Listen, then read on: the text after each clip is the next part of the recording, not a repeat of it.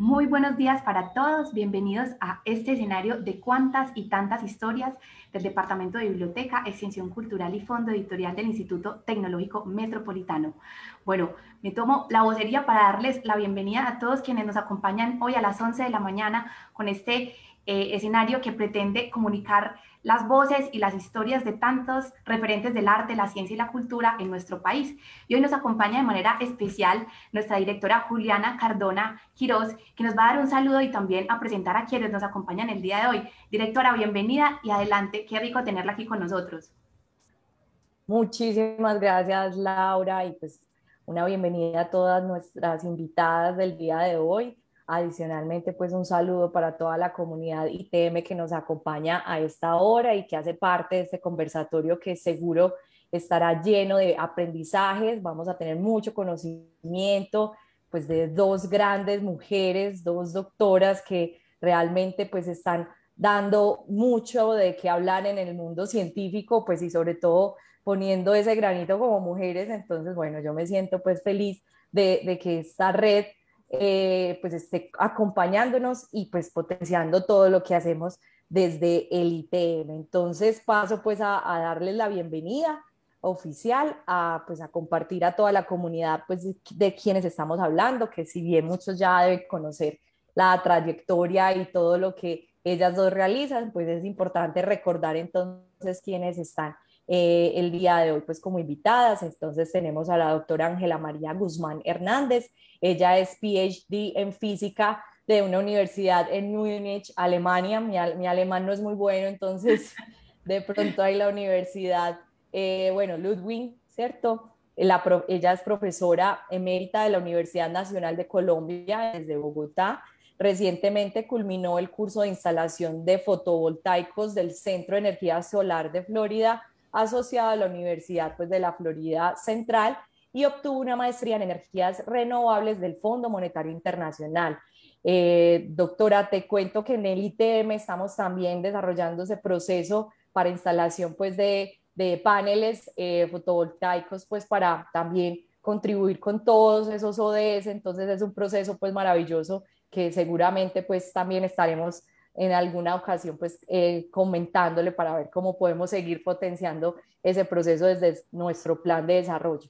La doctora Ana María Aldana Serrano, ella es PhD en Ecología de la Universidad de los Andes. Desde el 2018 es la jefe de fomento y fortalecimiento a la investigación de la Universidad del Rosario, en donde lidera las estrategias de fomento a la investigación y la investigación formativa. Allí también coordina el semillero de investigación de ecología de plantas tropicales entonces, bueno, doctora, también maravilloso. Yo también tengo eh, pensado y luego pues a la comunidad lo, se lo presentaremos oficialmente de volver muy verde también nuestros espacios internos, ¿cierto? Hoy en día mira que, que nos hace falta ver mucho verde para sentir pues que estamos más en armonía con la naturaleza. Entonces, bueno, también te invitaremos a, a nuestros espacios físicos. Hoy estamos todos pues desde nuestros hogares y, felices pues de tenerlas. El espacio es para ustedes. Yo aproveché pues para dar un saludo y presentarme pues ante quienes se conectan y siempre bienvenidas tanto ustedes como los invitados pues que tenemos eh, el día de hoy, todas las personas pues que nos están acompañando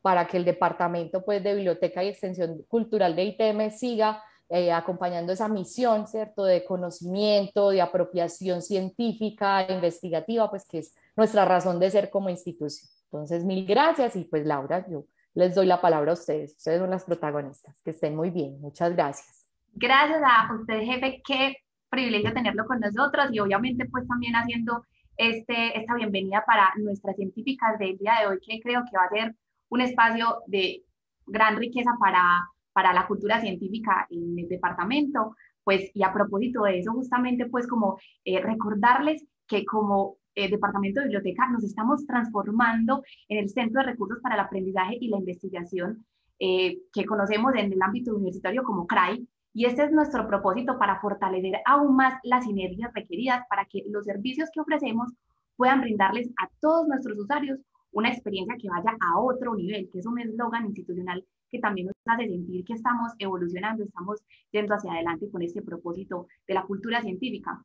Y hoy justamente nos convoca un tema fundamental en nuestros programas del departamento como objetivo misional y se trata justamente de la apropiación social de la ciencia.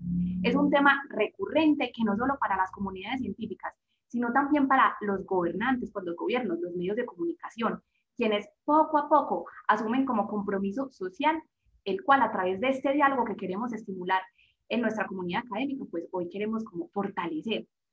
Y bueno, yo quiero hacer un preámbulo un poco también para todos nuestros eh, como oyentes o quienes se conectan eh, con el espacio de cuantas y tantas historias, un poco para promover cuál es la comprensión de la apropiación social de la ciencia, que es entendida como la integración de los diferentes sectores de la sociedad, buscando la interiorización de las representaciones de la ciencia, la tecnología y la innovación. Ahorita conversábamos detrás de cámaras con las científicas y resultaba bastante interesante también evidenciar la importancia de promover estos diálogos para también transformar el pensamiento, apropiarnos de ese conocimiento de cada una de estas científicas de nuestro país han gestado y han perseverado y por, y por lo tanto también entender cómo el sector público, la sociedad en general, es necesario que participen en la construcción de políticas públicas incluyentes eh, eh, sobre ciencia y tecnología, como un camino que estamos construyendo, que estamos en constante construcción.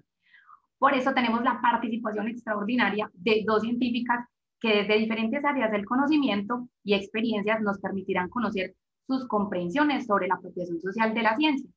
Ellas hacen parte de la red colombiana de mujeres científicas consolidadas en el país desde 2016 y ya nuestra directora Juliana nos hacía una presentación súper amplia y súper cercana también para hacerlas sentir muy bienvenidas a todas las, eh, como pues con la construcción o, la, o el propósito científico que también tenemos como institución universitaria. Entonces, les damos la bienvenida nuevamente, doctoras, qué rico tenerlas con nosotras.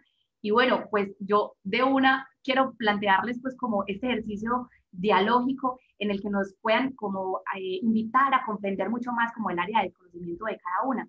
Entonces, quisiera como darle la oportunidad o para darle la palabra a la doctora Ángela con una pregunta que tiene una introducción súper larga, pero es justo también como para invitar a nuestros eh, oyentes, a todos nuestros eh, escuchas, a que nos adentremos un poquito en este tema también y obviamente nos paremos en, los, en, como el, en el camino de una científica como la doctora Ángela, eh, la cual sus estudios de innovación energética son los grandes temas en materia de sostenibilidad a propósito del cambio climático. Y pues estudiando un poquito alrededor de este tema, eh, me, me, encontré un informe de la Cámara de Comercio de Bogotá sobre el panorama de las energías renovables en Colombia. Y se afirmaba que la producción energética del país está constituida a grandes rasgos en un 93% de recursos primarios de origen fósil, aproximadamente en 4% de hidrogenaria, hidrogenaría, perdón, y en 3% de biomasa y residuos. Es decir, un gran porcentaje de, de, de, origen fósil, pues como el combustible de origen fósil. Eh, así que el país no cuenta con mecanismos regulatorios que garanticen la viabilidad financiera para la generación de energías renovables. Y esto sumado al cambio climático, que evidentemente también es un, un fenómeno que nos determina muchísimo como, como planeta, como habitantes del planeta. Y se estima que la tasa a la que sube la temperatura del planeta se ha duplicado frente al riesgo, frente a lo registrado hace 50 años. Desde 1990, las emisiones de carbono han incrementado un 20%. Entonces, la pregunta después de esta un poco larga introducción, doctora, y me disculpa, pero sí quisiéramos eh, que nos explicara por qué es urgente este cambio de energía basada en recursos fósiles hacia las energías renovables en nuestro país, que además se agudiza con las condiciones del cambio climático. Bienvenida, doctora, y adelante.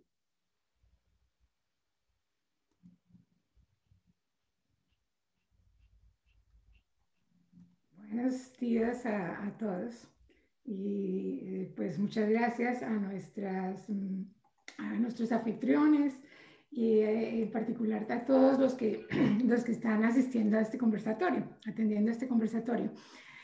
Eh, efectivamente, el tema del consumo energético y las fuentes de energía que utilizamos ha pasado realmente a ser un asunto no solamente económico, etcétera, sino es un asunto de supervivencia de nuestra especie. Yo cuando miro fascinada eh, al Perseverance explorando Marte, no puedo evitar pensar en que la atmósfera marciana es de dióxido de carbono. Y eso me crea como una, una angustia futurística acerca de lo que podría ser nuestro planeta si seguimos consumiendo combustibles fósiles y emitiendo eh, gas carbónico y otros gases de efecto invernadero en nuestra atmósfera. Como tú lo decías, eh, a principios del siglo XIX, pues las emisiones de gas carbono eran prácticamente nulas. Después de la primera revolución industrial, a principios del siglo XX, ya emitíamos 2 mil millones de toneladas de carbono, de óxido de carbono anualmente. A mediados del siglo XX las emisiones eran de 5 mil millones y en el 2019 alcanzamos 36.4 millones de toneladas de dióxido de carbono emitidas en la atmósfera. El 2020 pues se observó una disminución como del 1% debido a la pandemia. Eh, pero ello pues no implica que hayamos hecho muy grandes avances y tenemos que realmente eh, hacer una planificación acerca no solamente de cómo eh, disminuir estas emisiones, sino también cómo eh, contribuir a la mitigación de todos los efectos que pueda tener el cambio climático en nuestra economía y en nuestra vida. En el caso de, Colombia, Colombia publicó mm, en febrero del año pasado el Plan Energético Nacional para los 30 años.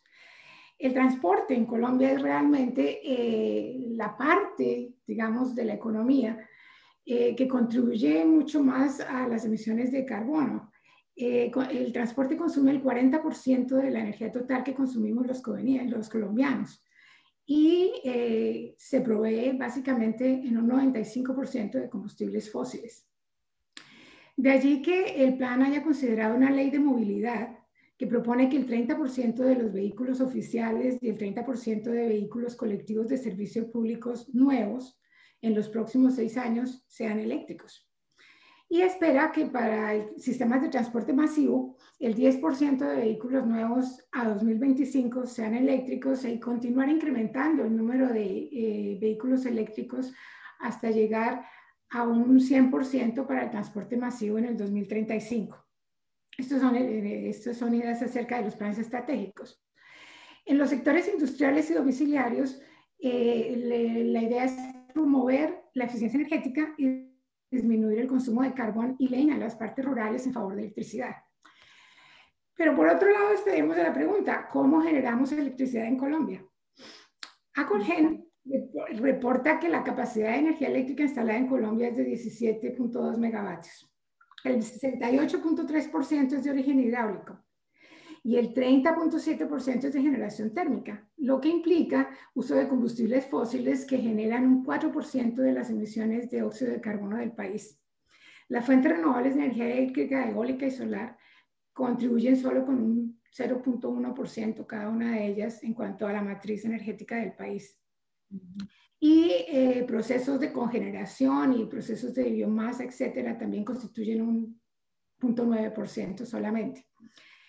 Esto es sorprendente, sobre todo cuando uno mira eh, cómo eh, está distribuida la generación en Colombia de acuerdo a la energía básica que, que, que utilizan para esa generación.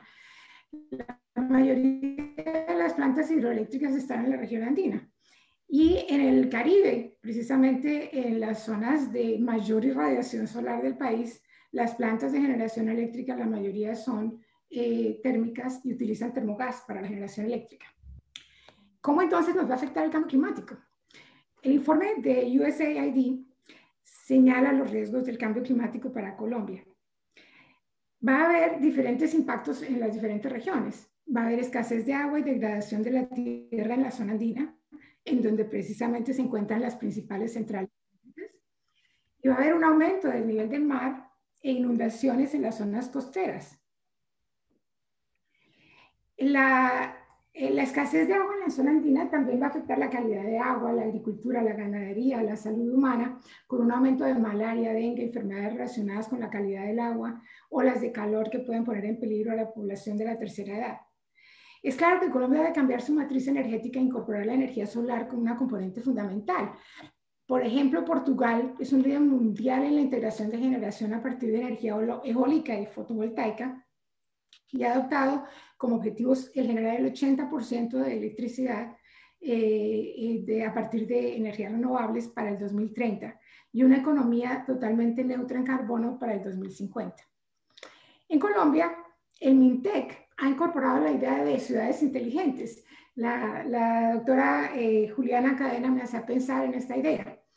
Desde el punto de vista del MINTEC, pues eh, la ciudad inteligente es aquella que tiene un alto grado de digitalización de los servicios públicos y acceso ciudadano a las tecnologías de información y comunicación. Pero el concepto de ciudad inteligente va mucho más allá de la gobernanza, porque debe incorporar medio ambiente, hábitat, calidad de vida, energía limpia, transporte eficiente, generación distribuida de energía, procesamiento de desechos orgánicos y utilización de la biomasa para tener economías sostenibles. En ciudades verdaderamente inteligentes como Cultiva en el Brasil se han realizado instalaciones de energía solar fotovoltaica en techos de edificios públicos, estaciones de trenes, terminales de autobuses, parqueaderos de universidades, etc. Y se tienen plantas que aprovechan los residuos vegetales de la poda de árboles y limpieza de jardines de la ciudad para generación de biomasa. Hace poco, un estudio eh, titulado Smart Grid Colombia, Visión 2030, que fue realizado por la Unidad de Planeación Minera Energética, en colaboración con el Banco Interamericano de Desarrollo y el Ministerio de Minas y Energía y Tecnologías de Información de Colombia, eh, publicó una hoja de ruta para implementar la tecnología de redes inteligentes en el país. En él se destaca la importancia de organizar la producción y el manejo de la energía eléctrica como un objetivo fundamental para las actividades productivas, la producción del medio ambiente y el interés eh, social.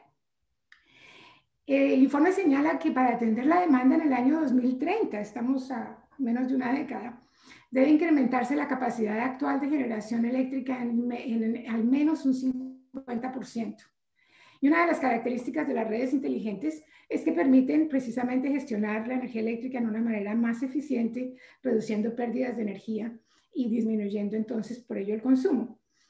Además, se plantea la incorporación, se, plantea la incorporación de sistemas renovables para eh, reducir el porcentaje de energía generada por centrales térmicas, que son las que provocan el mayor número de emisiones de carbono.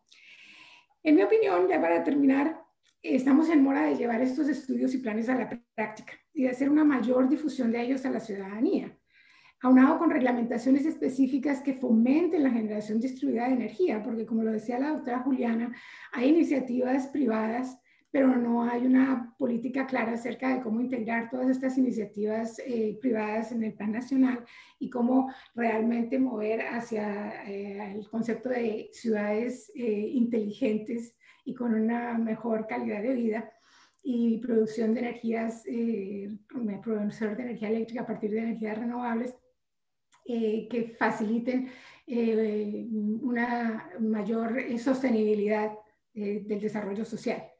España, por ejemplo, tiene una reglamentación en la que toda nueva edificación, aunque no sea pública, requiere tener un porcentaje específico de autogeneración de energía mm, voltaica dependiendo de, la, del área construida. Entonces, yo creo que hay que avanzar en la regulación y, y obviamente acoger todas estas iniciativas eh, privadas y públicas para poder incrementar la cantidad de, energías renovables en nuestra matriz energética, tener ciudades inteligentes, tener una red inteligente de distribución eléctrica, etcétera. Gracias, Laura.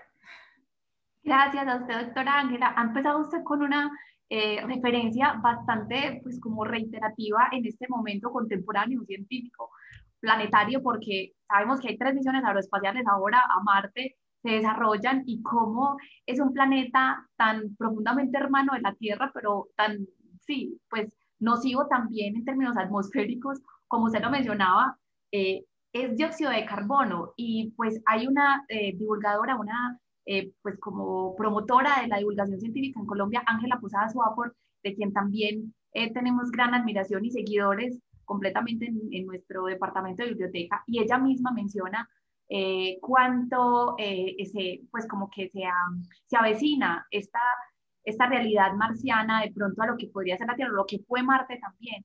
Entonces, definitivamente estos paralelos a veces planetarios que nos invitan más como a un lugar más consciente de frente a ese reto eh, energético que tenemos en, en, la actualidad.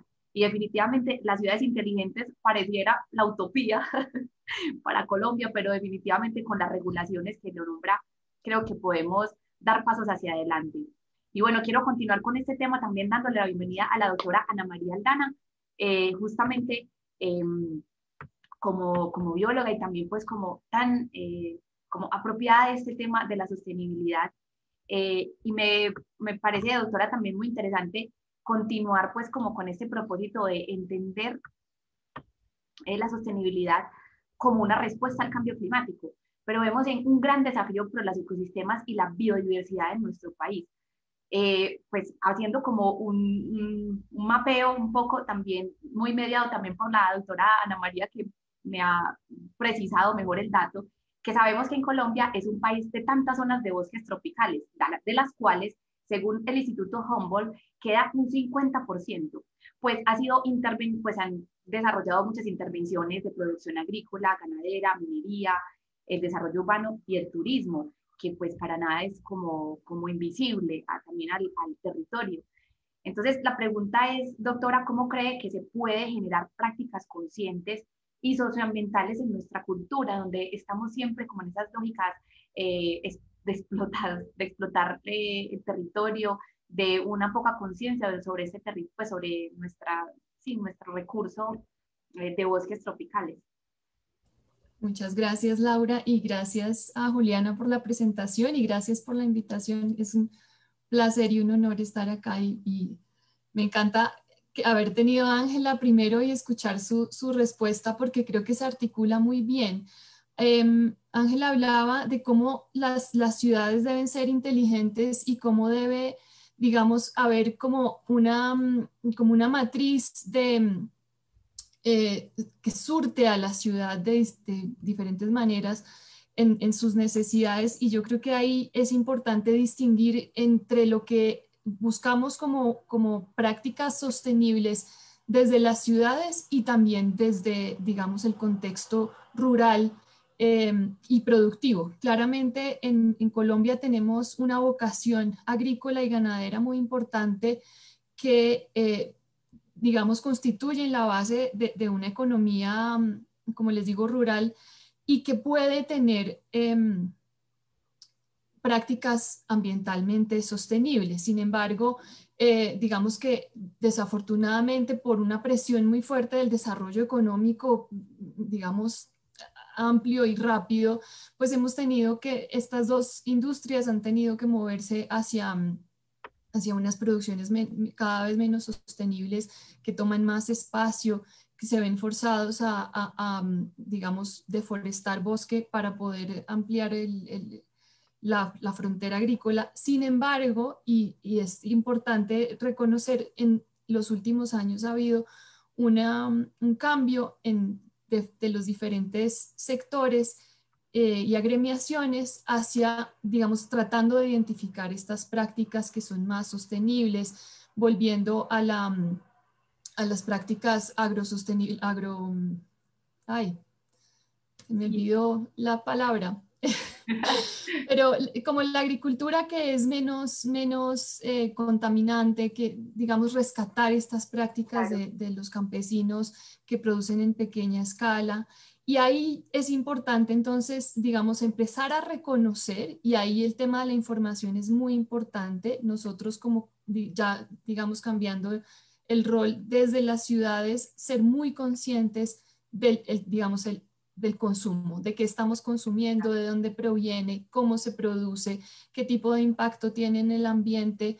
Y todo en última se resume a tener acceso a buena información, que no siempre es fácil porque los mercados no siempre nos permiten tener acceso a la manera en que se produce, pero yo considero que, un tema muy importante es eh, promover el, consumo responsable, sobre todo cuando estamos nosotros desde el lado, digamos, más urbano y que somos quienes recibimos eh, el, producto que se produce en, las zonas rurales y desde donde se puede ejercer una, una presión. Y también, obviamente, ya recientemente ha habido como movimientos muy interesantes de, por ejemplo, el, el turismo comunitario y sostenible, Em, el, eh, bueno, digamos, con minería el tema es un poco más complejo porque la minería además también trae como otro, otro eh, discusión que es un poco más amplia y más compleja porque también se relaciona con, con otros temas de, de, por ejemplo, el carbón que le eh, suple de energía a otros, a otros países pero em, yo sí creo que es muy importante como ser consciente de que cada acción que nosotros realizamos, la compra de un celular, la compra de un computador, eh, los alimentos que consumimos, cada uno de esos tiene un impacto en su producción y, y debemos como tratar de ser conscientes de qué tipo de impacto tiene cada una de estas acciones nuestras. Exacto, doctora. Inclusive, pues me, aprovecho como esa intervención tan amplia sobre el consumo responsable, esta matriz, pues como de prácticas sostenibles que debemos tejer como ciudadanos y también interdependientes con otras naciones para tener también esa responsabilidad en primera persona de tratarse de una información adecuada, de ir en profundidad sobre lo que consumimos eh, y pues de manera como no indiscriminada. Y justamente en el chat, uno de nuestros eh, oyentes, quien está aquí conectado, Víctor Acosta, hace una pregunta referida a lo ético.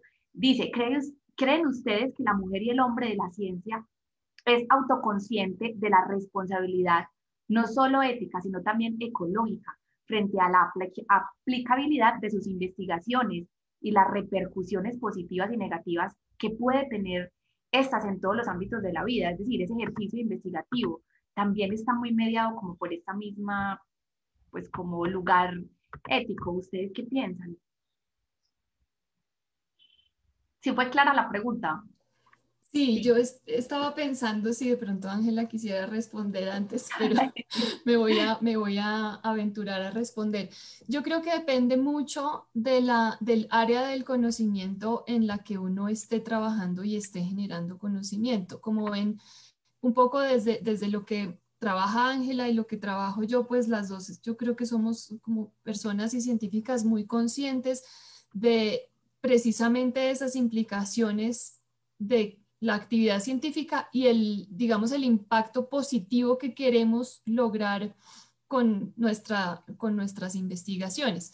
Pero eso no es, digamos, no, no es lo que siempre debe ocurrir con, con el, digamos, los científicos y las ciencias y el desarrollo de las ciencias. El, el, conocimiento puede generarse de diferentes maneras y no siempre debe ser, em, digamos, aplicable inmediatamente.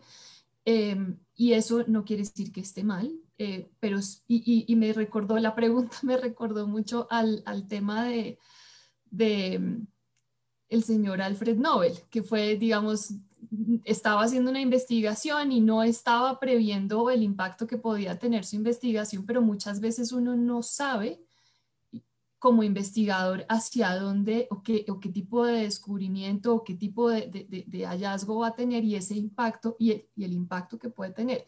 Cada vez más en el mundo hay un movimiento más fuerte de integridad científica que nos invita a todos los científicos a tener precisamente esa conciencia y a tratar de identificar los, los impactos posibles, pero insisto que no es algo fácil, que e, e, es algo que en algunas áreas del conocimiento es mucho más complejo que en otras. Sí, doctora Ángela, en su caso, como pues física y también como en este, en este ámbito de la, de la óptica cuántica, no sé, como tantas ramificaciones del conocimiento, esta pregunta, ¿cómo, cómo la observa usted en términos pues como de investigadora? Bueno, yo, yo veo dos cosas. Concuerdo con Ana María en que mm, en mi juventud yo creía que la investigación era básicamente una especie de arte, que uno hacía lo que uno estaba interesado en estudiar porque es simplemente la curiosidad, el descubrir cómo funciona el mundo, etc. Pero efectivamente pues hay una responsabilidad social del investigador. Y yo lo veo más en la dirección de cómo ser útil para la sociedad y cómo la sociedad reconozca esa utilidad. Por ejemplo, en Estados Unidos, cuando hubo el ataque a las Torres Gemelas, nadie dudaba de que los investigadores puedan eh, producir cosas que puedan ayudar a la seguridad. Y por ejemplo, en el área de la óptica inmediatamente se produjeron cantidades de equipos para los eh, aeropuertos, etcétera, en donde todos estos equipos son basados en espectroscopía para detectar eh, explosivos, etcétera. Y la, y la comunidad científica respondió dándole seguridad, una noción de seguridad a toda la gente que quería viajar en aviones, etc. Eh, Y, y, la sociedad en Estados Unidos confía en, la, en, en, su comunidad científica. Otro ejemplo, sin duda alguna, es eh, la científica que en este momento se me escapa el nombre, que descubrió este método de generar, eh, de modificar la información en las, para los virus y que gracias a lo cual se han generado las nuevas vacunas. Eh, es, es una mujer, ahorita lamentablemente se me escapa el nombre, pero ella hizo toda su investigación, yo no podría pensar que la ética en ese problema es un asunto complicado porque, usted, porque va uno a modificar información genética. Pero si ella no lo hubiera hecho, no tendríamos en este momento la vacuna. Entonces, pues los dejo con esa inquietud. Muy interesante. No, realmente es un tema también que genera muchísimo, pues como estupor quizá, porque también es como el devenir eh, evolutivo de la ciencia e incluso de la tecnología y cómo nos enfrentamos también a dilemas éticos en los que se transforma también ahí eh, como una, sí, una manera de interactuar lo humano con, lo, con la técnica y con la evolución científica. Pero definitivamente creo que pues nos dejan eh, claridades muy interesantes. Gracias también a Víctor por esta pregunta tan interesante y pues quiero darle también cauce a, a estas breves preguntas que he hecho justo como para un poco sacar un poco más de todo ese conocimiento que tienen eh, con respecto pues a la formación científica de cada una. Y pues esta pregunta específicamente para la doctora Ángela, eh, como abanderada en el país de la óptica cuántica y la óptica fotónica, que para quienes empezamos a conocer de, este, de, este, de estas ramas de la ciencia, es una rama de la física cuántica que impacta el desarrollo de la electrónica y la tecnología láser. Eh, doctora, quiero que nos ampliara un poquito más eh, como promotora de la Red Nacional de Óptica y su experiencia en el plano internacional. ¿Podría contarnos en qué radicó su investigación y qué desarrollos científicos adelanta la óptica cuántica para el desarrollo de la sociedad actual? Como lo mencionaba usted ahorita en la última respuesta. Gracias, Laura. Bueno, quizás la, la óptica cuántica la entiende uno mejor si menciona la palabra láser. Eh, la, la, óptica cuántica nació básicamente en los 60 después de que tuvimos el láser.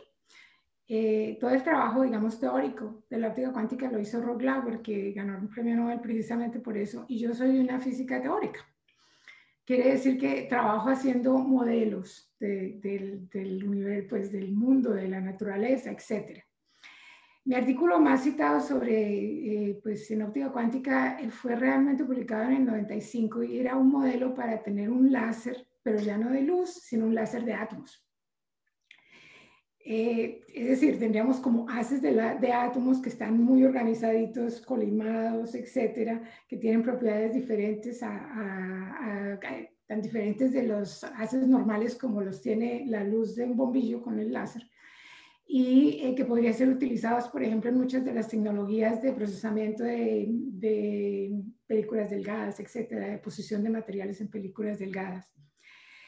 Pero pues la, la, en ese año casualmente fue cuando se descubrió el condensado de Bose-Einstein, que abrió una, pues, unas grandes posibilidades nuevamente y un nuevo estado de la materia. Bien, el trabajo es, que siguió eh, después de lo del condensado y todo lo que fue el trabajo de lo que nosotros llamamos enfriamiento de átomos con, láser. Yo tuve la oportunidad cuando era muy joven de asistir a la primera conferencia internacional de enfriamiento de átomos con láser, eh, que pretende, pues es una metodología que logra eh, hacer que los átomos interactuando con láseres puedan llegar prácticamente a detenerse y quedar confinados en unas regiones del espacio. En ello, eh, pues yo estoy trabajando bastante acerca de eh, hacer modelos de, de compuertas lógicas cuánticas para el computador cuántico. Y entonces ahí voy a entrar ahora sí algo que sea más claro para todos. Y es, eh, ¿qué es lo del computador cuántico? Que es quizás una de las aplicaciones e implicaciones más impresionantes que va a tener toda la óptica cuántica en el futuro cercano. En Microsoft, Google, la IBM y otros están en la carrera tecnológica de la computación cuántica. China ha invertido miles de millones de dólares en su programa de información cuántica, que incluye no solo la computación, sino lo que llamamos criptografía, encriptación cuántica. En el 2017, por ejemplo, eh, China hizo una comunicación cuántica segura entre Beijing y Viena a través de fibra óptica y satélites.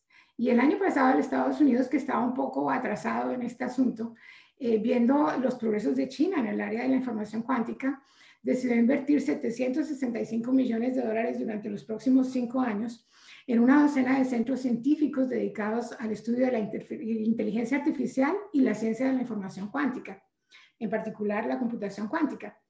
Numerosas empresas tecnológicas privadas están también contribuyendo con inversiones de montos similares. No sé si sería bueno de todas formas explicar un poco la diferencia entre qué es la computación clásica y la computación cuántica. No sé cómo estaremos de tiempo, Laura. Eh, podría pasar pues a contarles un poco sobre eso eh, y decirles eh, sobre todo las implicaciones. la mecánica cuántica, como ustedes saben, fue fruto de la investigación, digamos, de principios del siglo pasado, pero es el fundamento de la física, la química y la biología.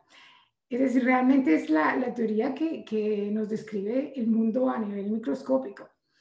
Y eh, la computación clásica que nosotros eh, estamos acostumbrados, todos los computadores que manejamos diariamente, se fundamentan en el uso de lo que llamamos bits, que son realmente pulsos eléctricos u ópticos que representan 0 y 1. En cambio, la mm, cuántica utiliza lo que llamamos quantum bits o qubits, que pueden estar en lo que llamamos una superposición de estados 0 y 1.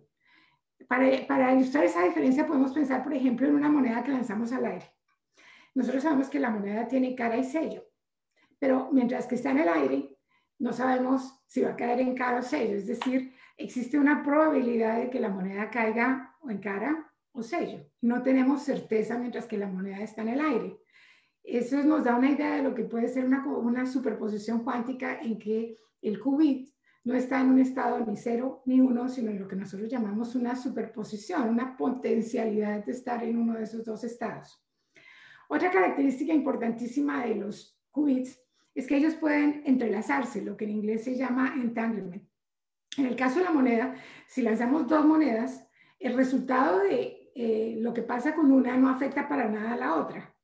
Pero si tuviéramos dos qubits que estuvieran entrelazados por una correlación cuántica, podríamos conseguir, por ejemplo, que si una moneda al caer da cara, la otra obligatoriamente también cae en cara. Es decir, hay una correlación entre esas partes de un sistema de qubits que estén entrelazados que eh, obligan a que si uno efectúa una medición en uno de ellos, inmediatamente puede saber con seguridad cómo se encontrará la otra. Eso precisamente es lo que da el poder a la computación cuántica. Porque eh, otro ejemplo podría ser que si un computador clásico resolviera, por ejemplo, cómo eh, salir de un laberinto, el computador clásico va ensayando eh, cada trayectoria y descartando una por una. El computador cuántico, dadas las correlaciones que tiene entre todos sus qubits, podría, por ejemplo, probar todos los caminos a la vez. Por ello, podría resolver en minutos problemas que actualmente tardan años. Por ejemplo, eh, el problema de cómo descifrar todas nuestras claves bancarias. ¿Por qué son seguras? Porque para poderlo resolver con un computador clásico, nosotros tendríamos que ensayar una por una. Imagínense el tiempo que se demora en hacer todas las posibles permutaciones de los números, etcétera, símbolos, para descifrar una clave. Sin embargo, si tuviéramos un computador cuántico, muy probablemente todo ese, ese proceso de descifrar esas claves nos tomaría unos minutos. Entonces, eh, en las perspectivas de esta tecnología, pues son impresionantes. Eh, Google la ha usando para mejorar el software de carros autónomos. Eh, se puede utilizar para modelar reacciones químicas, porque las reacciones químicas siguen las reglas cuánticas con que trabajan estos computadores. se podría usar para contribuir a, encontrar nuevos materiales, por ejemplo, para baterías de carros eléctricos sería un apoyo para las industrias farmacéuticas para producir nuevos fármacos y mejores fármacos. Podría utilizarse para predecir mercados financieros, el tiempo, etcétera. Y particularmente el problema de los datos encriptados. Y por ello hay otro, otra área de la, de la cuántica que se está desarrollando y es lo que se llama la encriptación cuántica eh, y eso es un método de encriptar que sea realmente seguro y que no pueda ser intervenido.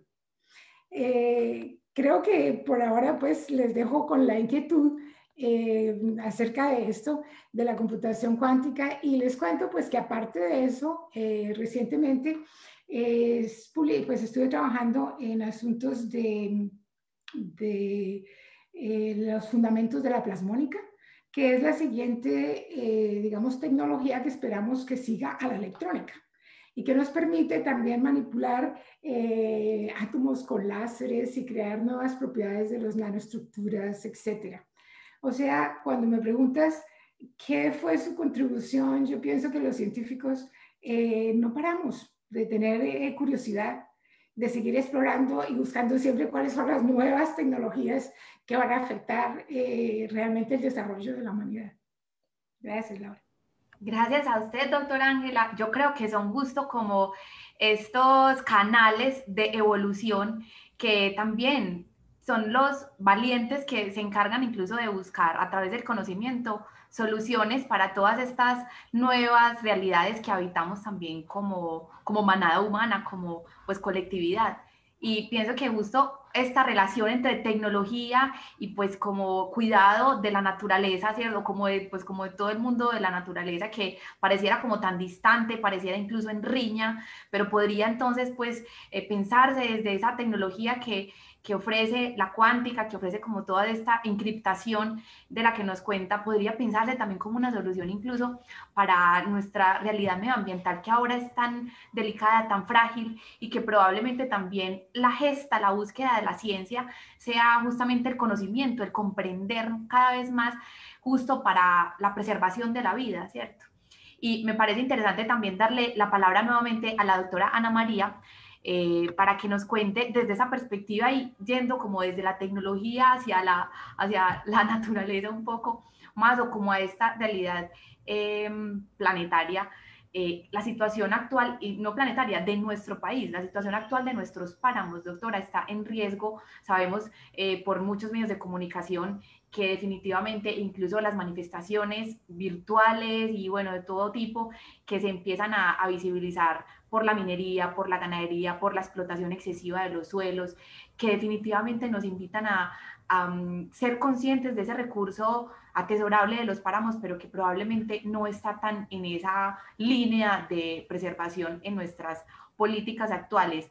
Entonces, pues la pregunta creo que obviamente, de según mi, preámbulo es muy orientada hacia la conservación, pero qué rico que nos pudiera ampliar mucho más esta mirada sobre este territorio de nuestro país. ¿Es viable dar un uso sostenible a estos ecosistemas frágiles o dar un manejo netamente de conservación? Doctora, gracias por su aporte también. Gracias, Laura. Pues yo creo que ahí e, esa pregunta es bastante difícil de responder porque también hay que tener en cuenta pues la historia de uso. En Colombia, em, eh, en, algunos de los páramos de este país hay comunidades campesinas que los utilizan y, no sé si han escuchado, pero pues eh, eh, el páramo ha sido utilizado para cultivos de papa, por ejemplo, que papa que nos alimenta a todos. Entonces, no es tan sencillo como, como tomar la decisión de, bueno, sabemos efectivamente que el páramo es un, es un ecosistema frágil eh, y está además en un riesgo mayor, no solo por el uso que le damos, sino por el cambio climático precisamente. En la medida en que, eh, digamos, la crisis climática se acrecenta, los páramos están en riesgo porque está estudiado que el rango de las plantas en la altitud de la montaña se va desplazando en la medida en que se va calentando el, ecosistema. Entonces, em, una de mis colegas que es experta en páramo, yo no soy experta en páramo, pero eh, ella hacía la investigación y veía que cada vez el rango de distribución de las plantas de páramo es más pequeño porque no, no tienen hacia dónde subir. Entonces, em, ahí digamos que el problema no está sobre la conservación del páramo en sí, digamos, en el lugar sino en cómo nosotros logramos frenar la crisis climática, cómo logramos que se reduzcan las emisiones de los gases de efecto invernadero, como decía Ángela, que se reforeste lugares donde, donde se ha deforestado el bosque de manera que haga, haga una captura de ese dióxido de carbono, que las plantas lo hacen también eh, y sin necesidad de, desarrollos tecnológicos eh, humanos y, digamos que con, ese tipo de, cosas que están afuera, afuera del ecosistema, eh, sería, digamos, para mí lo más importante. Luego, digamos, sabemos que esto es muy difícil y que requiere una articulación internacional, global, compromisos de todos los países, no solo de Colombia, pues que sabemos que Colombia está, el Estado está muy comprometido con estos temas, pero ya digamos, in situ, em, yo creo que es muy importante que para que nosotros valoremos lo que tenemos, lo podamos conocer. Y de esa manera el uso sostenible de los páramos debe ser el, disfrute, el turismo. Obviamente sostenible, con límites, eh, entendiendo que los, que los ecosistemas todos tienen una capacidad de carga y que no podemos llegar al páramo como llegamos a las playas de Cartagena, pero sí con un, con un disfrute y con una apreciación y una posibilidad de, de tener esa esa conexión con la naturaleza que luego nos lleve a, exigir, como lo han hecho muchas comunidades que viven alrededor de los páramos, que no se utilicen los páramos para ninguna otra cosa, porque pues digamos la tensión en la que estamos en este momento es la disyuntiva entre explotar la minería y no explotarla, y en eso sí yo quiero ser muy categórica, considero que no debemos perder nuestra cobertura de páramos por enriquecernos con un dinero que no se puede comer. Sí, bastante, bastante como clara su, su apreciación, doctora. Y bueno, definitivamente escucharlas a cada una en su área del conocimiento, eh, de profundización y también sus aportes o sus, sus, avances, pues también en este propósito científico ha sido muy enriquecedor. Eh, nos quedan pues ya como ya un, tiempo más conclusivo de la conversación. Sin embargo, quisiera perseverar en este ejercicio de pues como proyección social de, de, la ciencia, del conocimiento, eh, ya haciéndoles una pregunta de manera pues como general para que nos cuenten también en esta perspectiva como de ejercicio de, de, apropiación social del conocimiento, cómo encuentran ustedes este ejercicio también para nuestro territorio colombiano. Entonces, eh, me gustaría empezar con esta pregunta súper breve, eh, que es de frente también a un propósito de democratizar, democratizar el conocimiento. Eh, y la pregunta es, ¿qué mecanismos consideran que pueden aportar la comunidad científica para democratizar el conocimiento científico y tecnológico? pues justamente como en estas dinámicas de, de científico a conversación, a, a promover una transformación cultural hacia la ciencia. Eh, le doy la palabra a la doctora Ángela. Yo efectivamente creo que hay necesidad de, continuar, por ejemplo, espacios como este, en donde eh, los científicos hagan un esfuerzo por comunicar de alguna forma en lenguaje comprensible eh, los avances de la ciencia, pero no solamente para, las comunidades, es importantísimo para los gobiernos que, haya, que haya una comunicación entre científicos y, los tomadores de decisiones, de forma tal que ellos también puedan tomar decisiones que estén basadas en conocimiento científico. Cuando yo revisé, estuve revisando, por ejemplo, la idea de apropiación de la ciencia. Y tú mencionas la palabra democratización que no me gusta mucho. ¿Por qué? Porque así como yo no esperaría que por escuchar unas cuantas charlas sobre cirugía, yo voy a poder ser cirujano. Eh, eh, creo que hay que dividir claramente las actividades de los científicos. Y es que en Colombia a veces se cree que el científico tiene que ser a la vez científico aplicado, luego tiene que ser emprendedor, luego tiene que ser creador de industria, etcétera. Y creo que son, y tiene que resolver problemas sociales. O sea, yo creo que cada quien tiene su área de acción y que hay que clarificar esas distintas áreas y eh, que uno de los problemas graves que tiene la, la, estructura de ciencia de Colombia, que no la tiene Estados Unidos, es que en Estados Unidos hay niveles de proyectos, hay niveles de investigación en ciencia básica, investigación en ciencia aplicada, producción de prototipos y de una vez ya ahora la comercialización. Y cada una de esas cosas tiene distinta gente trabajando, obviamente con gente que empata los distintos niveles. Y no se espera que una sola persona haga todo este trayecto.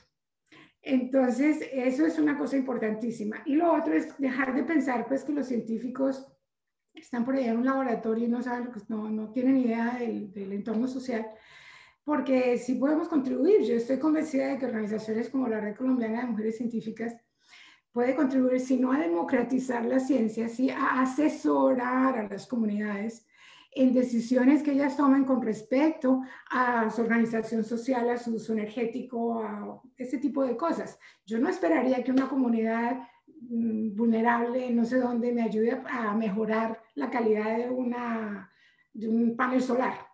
Lo más que aspiro es que aprenda a que lo limpie y a que lo mantenga. Ese es mi punto de vista. Entonces, por eso la palabra democratización, no sé, y lo de socialización, creo que ha dejado por fuera el problema de gobernanza. Es decir, se está haciendo entre comunidades de ciencia, pero no, no involucra los cinco puntos fundamentales, academia, lo que llaman la pentahélice, eh, empresa, gobierno, etcétera, y sobre todo gobierno. Muy interesante. Doctora Ana María, en su caso, ¿cómo observa esta realidad de la democratización del conocimiento? Yo creo que hay varios, varios puntos importantes em, y ahí difiero un poco de Ángela, pero creo que también tiene que ver con nuestra formación. Eh, hay un punto importante y es em, reconocer, digamos, el conocimiento científico, como yo lo entiendo, es el que se construye utilizando el método científico.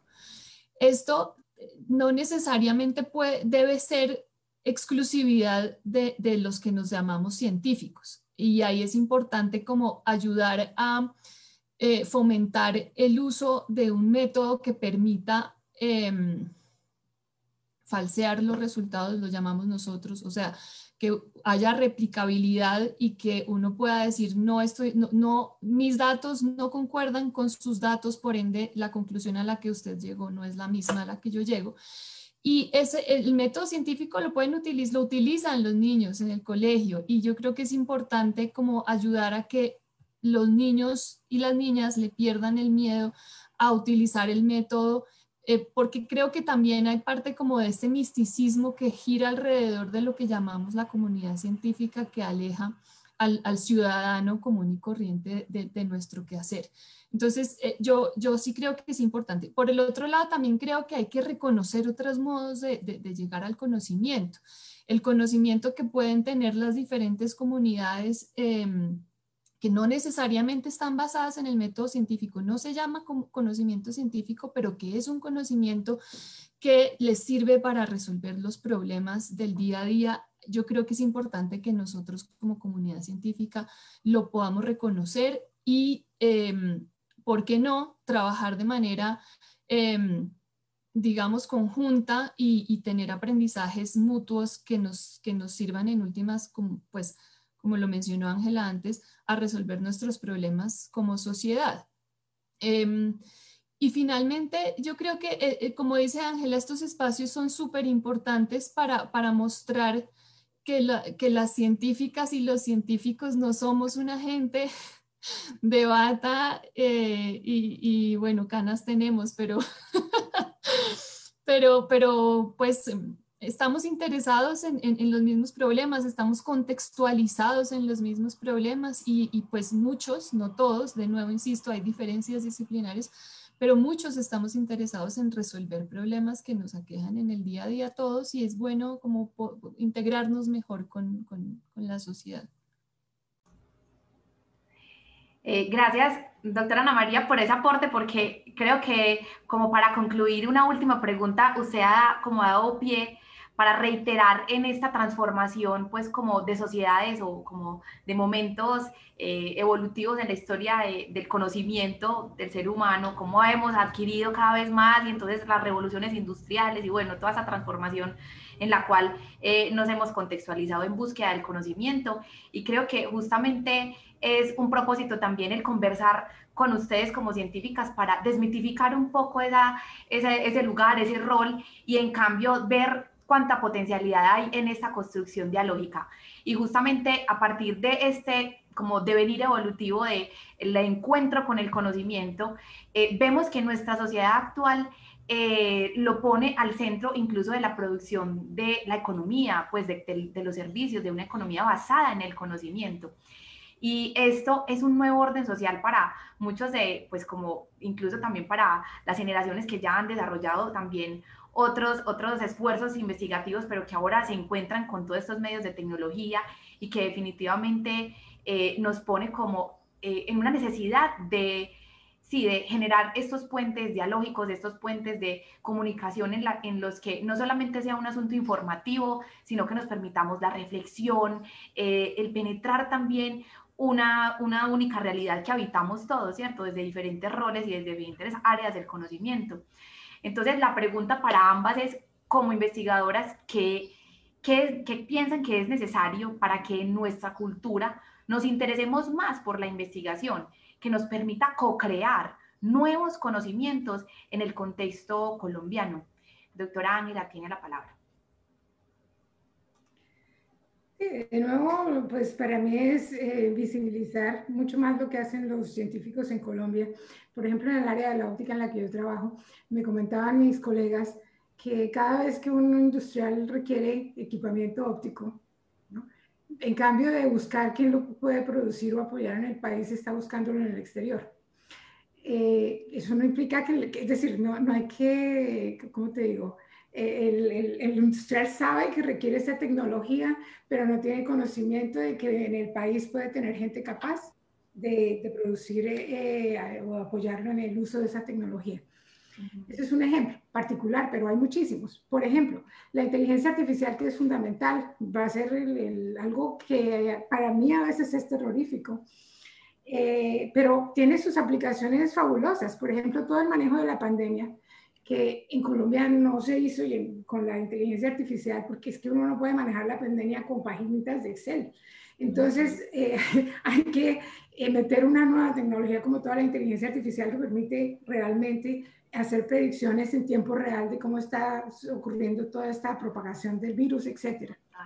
Entonces, pero yo pienso pues que eh, en general la comunidad debe entender pues qué tipo de tecnologías están usando, pero yo no espero que todos ellos estén contribuyendo porque las competencias a nivel internacional de la tecnología y ciencia y tecnología de frontera, especialmente en las ciencias naturales, en las ingenierías, etcétera, pues son cosas que incluso para nosotros que hemos estado toda la vida dedicados a eso, pues son complicadas competir porque Colombia no tiene ni el dinero, ni apoya la investigación, ni, las, ni muchas veces todos los equipos y todo lo que se requiere para eso.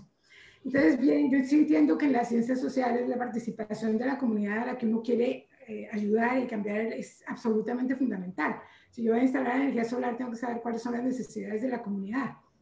Pero hay otras áreas en que realmente pues, la tecnología y ciencia de punta es algo que los científicos desarrollan como científicos y que efectivamente pueden motivar a los jóvenes, etcétera, porque están maravillados con todos estos desarrollos tecnológicos, ¿no? Pero en ese sentido es que yo decía que pues democratización, hasta pura democratización, yo no creo mucho. Sí, doctora, yo creo que es realmente esa, esa construcción de la que usted nos hablaba, incluso eh, teniendo presente esa proyección al 2030, que muchas, como en materia como de, sostenibilidad, de promover pues también este cambio eh, transicional hacia, hacia una apropiación de la ciencia y definitivamente creo que se trata también como de evidenciar cuánto estas nuevas generaciones están expuestas a esta sigla STEM, ¿cierto? Ciencia, tecnología, matemáticas, ingeniería, de la cual nuestros estudiantes en, en el ITM tienen como tanta relevancia, pues, y que están invitados justamente a ir un poquito más allá, a promover este ejercicio de investigación, que evidentemente es una responsabilidad como ciudadanos también, que creo que es ahí donde donde definitivamente todo este mundo que ofrece la, inteligencia artificial, por ejemplo, o todos estos empeños eh, científicos eh, nos, nos, abren un abanico también de, y un escenario también de intervención bastante interesante. Eh, gracias, doctora Ángela, y le cedo la palabra a la doctora Ana María. Muchas gracias, Laura. Ya para cerrar, que se nos acabó el tiempo, estuvo muy buena la conversa. Sí. No, pues yo estoy de acuerdo con Ángela. Yo creo que lo más importante es visibilizar la capacidad que tenemos nosotros en Colombia. Y eso efectivamente lo hizo la pandemia muy bien. O sea, fue, fue gracias a que tuvimos este, este fenómeno tan inesperado que nos dimos cuenta que tenemos algunas capacidades científicas en el país, pero que carecemos muchas otras, porque desafortunadamente descuidamos. En el país producíamos vacunas, y dejamos de producirlas. Y teníamos investigación científica de punta sobre los diferentes temas de, epidemias y, bueno.